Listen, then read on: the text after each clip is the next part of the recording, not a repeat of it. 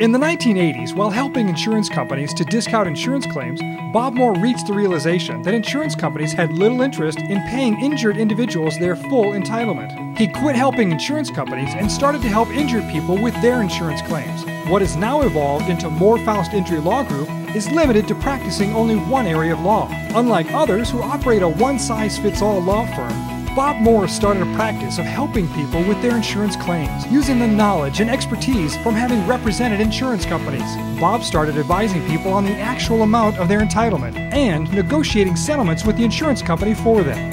While representing insurance companies, Bob also learned that few injured people seem to like the process of collecting money from insurance companies with lawsuits that were expensive, stressful, and often lead to unexpected results. Bob also abandoned the standard plush and beautiful offices like other attorneys to a less intimidating home like office setting.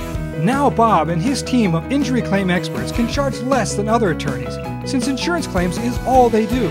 At Moore Faust Injury Law Group, lawsuits are an afterthought, where legal fees can be less and injury claims will receive our undivided attention. Moore Faust Injury Law Group, a tradition of caring for injured people. Call us today at 343 HELP.